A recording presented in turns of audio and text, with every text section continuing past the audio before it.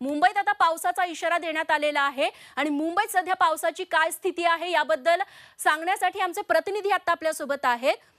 देवेंद्र आणि दीपक भातुसे आपल्याला याबद्दलची अधिक माहिती देतील. देवेंद्र यांच्याकडे मी सुरुवातीला जाते देवेंद्र पुढचे काही तास मुंबईत मुसळधार पावसाचा इशारा देण्यात आलाय. मात्र मुंबईत सध्या काय परिस्थिती बघायला मिळते वाऱ्याचा वेग कमी झालाय का? पाऊस जास्त आहे का?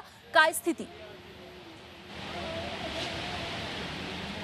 रेश्मा या चक्रीवादळाच्या परिणामामुळे आपण सकाळपासूनच बघतोय की मुंबई असेल किंवा मुंबईच्या आसपासच्या परिसरामध्ये मुसळधार पाऊस आणि वेगवान वारा दिसतोय. आणखी पुढचे काही तास देखील अत्यंत महत्त्वाचे आहेत. यावेळेस मी गेटवे ऑफ इंडियाच्या परिसरामध्ये आहे. आणि तिथे जरा आपण बघितलं तर गेटवे इंडिया ऑफ इंडियाच्या परिसरापासून पुढे काही अंतर समुद्राचं पाणी जे आहे ते सगळं बाहेर आलेलं आपल्याला पाहायला मिळतं उंचच उंच लाटा ज्या आहेत त्या समुद्रामध्ये उसळताना आपल्याला पाहायला मिळतात. ते सोसाट्याचा वारा जो आहे तो अद्यापही मुंबईच्या समुद्रकिनारी सुरू असलेला आपल्याला पाहायला मिळतोय. हा सगळा ताज हॉटेलचा परिसर आहे आणि त्याच्या बाहेरही कशा पद्धतीने समुद्राचं सगळं पाणी आलेलं आहे. संबंध हा सगळा परिसर जो आहे तो जलमय झालेला आहे. सगळे रस्ते जे आहेत ते इथले बंद झालेले आहेत आणि एकूणच सध्या मुंबईच्या सगळ्या समुद्र किनाऱ्यावरती अशाच पद्धतीचं आपल्याला चित्र पाहायला मिळतं सोसाट्याचा वारा जो आहे तो सुरू आहे आणि त्यात पाऊस आहे. पावसाचा मारा होतोय. त्यामुळे आणखी काही तास जे आहे ते अशाच पद्धतीची परिस्थिती जी आहे ती आपल्याला मुंबईमध्ये पाहायला मिळतात मिळणार आहे. हवामान खात्याने अंदाज व्यक्त केलेला आहे.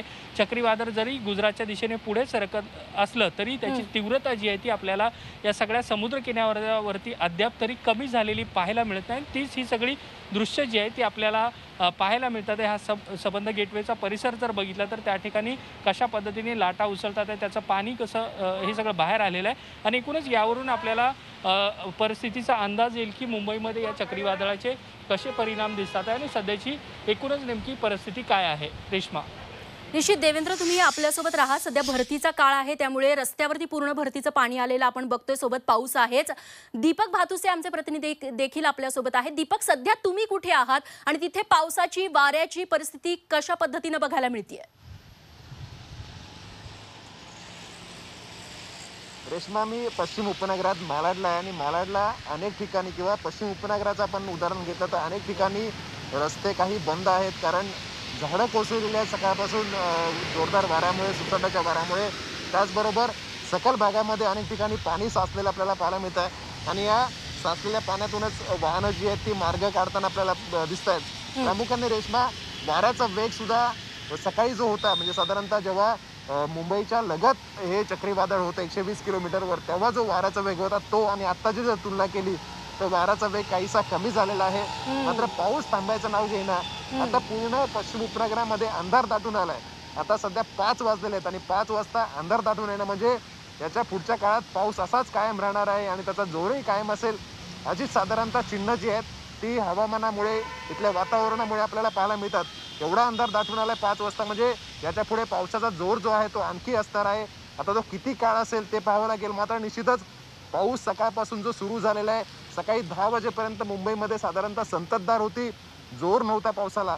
मात्र दहा वाजल्यानंतर पावसाने जो जोर धरलेला आहे तो अद्यापही कायम आहे.